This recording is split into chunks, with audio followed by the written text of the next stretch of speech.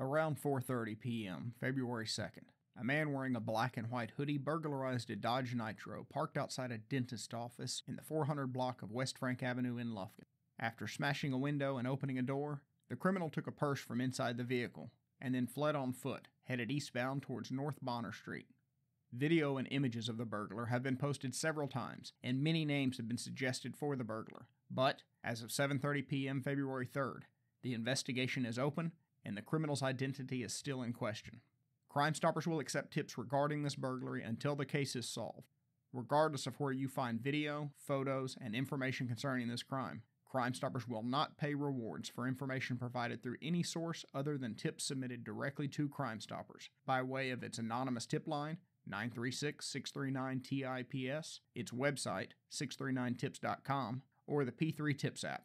Tips concerning information previously provided to or known by law enforcement or posted on Facebook are not eligible for a Crime Stoppers reward. Crime Stoppers pays rewards in cash, but only for anonymous, crime solving tips submitted directly to Crime Stoppers. Funds for Crime Stoppers rewards come from fees paid by convicted criminals.